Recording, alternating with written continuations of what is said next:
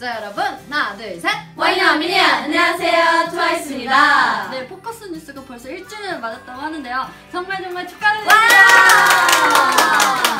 네 앞으로도 지금처럼 좋은 기사 부탁드립니다 저희 트와이스도 항상 응원하고 있겠습니다. 포커스 뉴스